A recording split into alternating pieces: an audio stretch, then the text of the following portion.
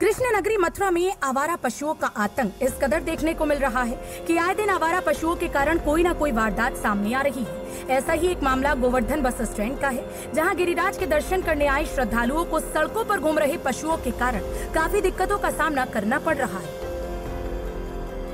अभी अभी अचानक यहाँ पे दो साड़ लड़ते लड़ते हुए आ गए थे, हम लोग खाना खा रहे थे और वो सब लोगों के ऊपर जो भी यात्री यहाँ पे गण बैठे हुए थे, उनके ऊपर चढ़ गए आकर तो हम लोग सब भाग कर उधर की तरफ़ चले।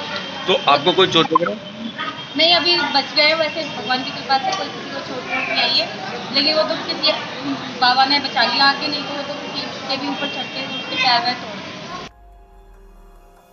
दरअसल मामला गोवर्धन इलाके के अंतर्गत बस स्टैंड का है, जहाँ श्रद्धालु महिला ने बताया कि अलग अलग राज्यों से आए श्रद्धालु परिक्रमा के दौरान विश्राम करने के लिए बस स्टैंड पर बैठकर खाना खा रहे थे।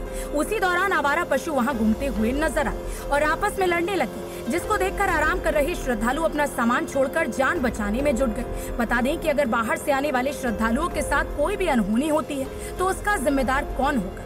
अब देखना होगा कि शासन इस ओर कोई ध्यान देता है या फिर शासन को किसी बड़ी घटना का इंतज़ार है।